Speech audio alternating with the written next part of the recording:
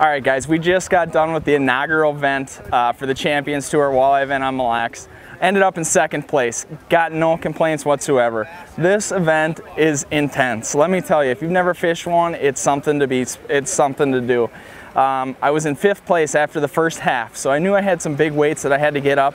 Um, but I knew my east side was better. What I was doing was driving my tiller around, my Warrior tiller with the Yamaha, and I would drive around and every time I'd mark one with my Panoptix or my Garmin, I would drop back, throw it back behind the boat, jig it a few times, two, three, four times, and I either had that fish or I didn't.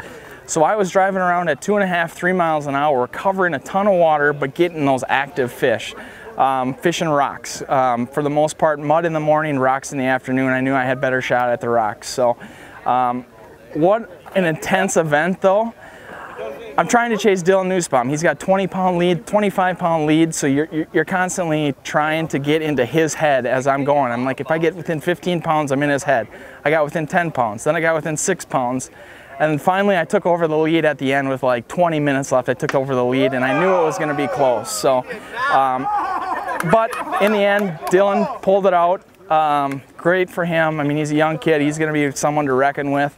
Um, can't say enough about my sponsors. Obviously, Fox River Rods, who I use the whole time, Warrior Boats, Garmin, um, and Fish Addiction. So um, I appreciate everything, guys. Stay tuned. There's going to be a lot of cool stuff coming in the future.